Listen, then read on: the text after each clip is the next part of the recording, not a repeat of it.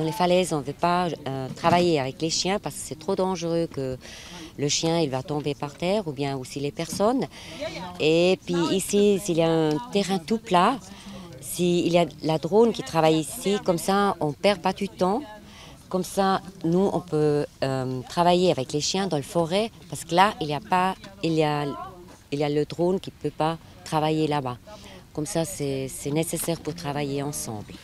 The, the main benefit is uh, to, to, to gain more time, to be more efficient and to be faster to find the, the missing person.